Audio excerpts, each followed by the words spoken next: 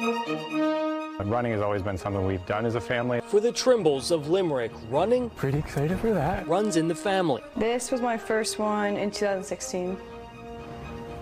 I was in fourth grade when I ran that one. This will be my 10th year running Broad Street. And for the Trimble family, this year's Blue Cross Broad Street Run will be their most memorable one yet. I'm excited, but also nervous that it's four more miles than I've ever done.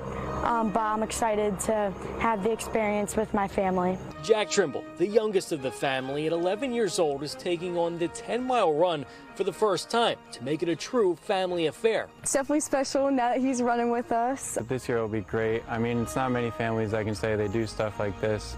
And I just love that we can actually all do it together. Running is an activity the whole family likes to do together, especially through COVID.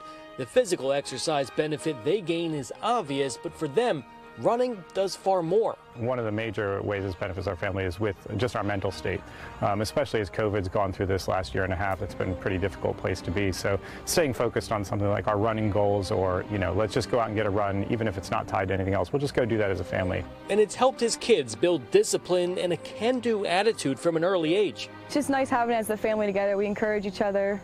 Um, don't let each other quit. They also compete with each other, called a sibling rivalry that always exists but never stands in the way of what's most important. It's a lot of trash talk between us. I mean, that's just how we are. We love doing that.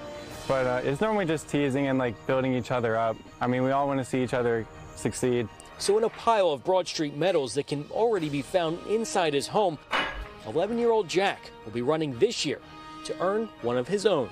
Well, I know Jack will finish the race and have such a huge sense of accomplishment. Um, I, I'm not discrediting that it might be, you know, he'll have sore legs, but uh, he'll definitely make it there. And uh, I think just for him, that will give him such, um, such a great reward in life, right? That, that he knows at a young age, I can set a goal and I can go out and accomplish a goal, even if it seems so lofty that I'll probably be, feel like really accomplished, really happy that I did that, and I kept going through with all the hard work. He's put in the work, now ready to cross that finish line the way he's always envisioned, all together as a family.